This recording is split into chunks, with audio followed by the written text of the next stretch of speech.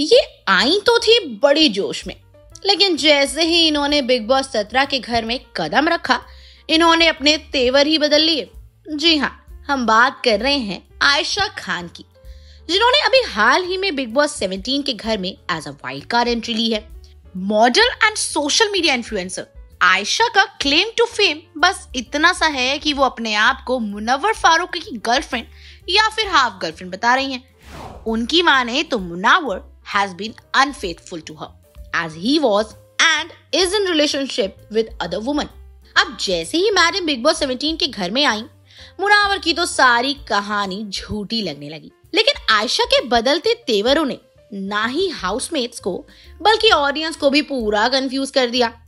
Within 24 hours it was clear that Ayesha had entered the show only for publicity Munawar Ayesha को two time या फिर three time कर रहे होंगे, लेकिन आयशा भी कुछ कम नहीं निकली, क्योंकि मैडम आयशा की बिग बॉस में एंट्री के बाद उनके सो कॉल बॉयफ्रेंड ने सोशल मीडिया पे आयशा और उनकी इंस्टाग्राम चैट अपलोड कर दी, जिसमें it was very clear that Ayesha को सिर्फ़ और सिर्फ़ पब्लिसिटी चाहिए थी। ये सारे ड्रामे ये सारे नाटक जो आयशा ने किए was only to get an entry in the Bigg Boss house उनके बॉयफ्रेंड ने तो यहाँ तक कह दिया कि आयशा धोखेबाज और बेवफा है। वो जो भी बोल रही हैं, वो सब झूठ है। कौन सच बोल रहा है, कौन झूठ, ये तो वो लोग ही जाने। लेकिन हमें तो बिग बॉस के मेकर्स पे हैरानी हो रही है कि उन्हें ये सब करके मिल क्या रहा है। कोई भी राह चलते आ जाता है, कुछ भी बोल देता है।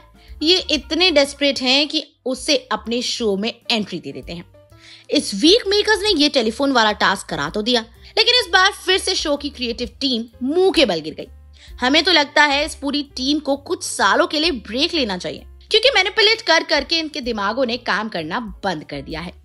बहरहाल, इस वीक रिंकू धवन, आयशा खान, अभिषेक कुमार और नील भट्ट नॉमिनेटेड हैं। और हमें यकीन है कि अगर वोटों के आधार पर इविक्शन हुआ तो रिंकू विल बी इविक्टेड और अगर मेकर्स ने कुछ अपनी चलानी चाहिए तो आयशा भी इस गेम से आउट हो सकती हैं।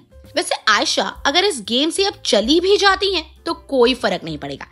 क्योंकि उन्हें जितना कंटेंट देना था, जितनी नौटंकी करनी थी, वो कर चुकी हैं। अब तो बस वो घर के कोनों में मुनावर से प्यार भरी बातें करती नज़र आती हैं। आपकी क्या राय है आयशा खान के बारे में?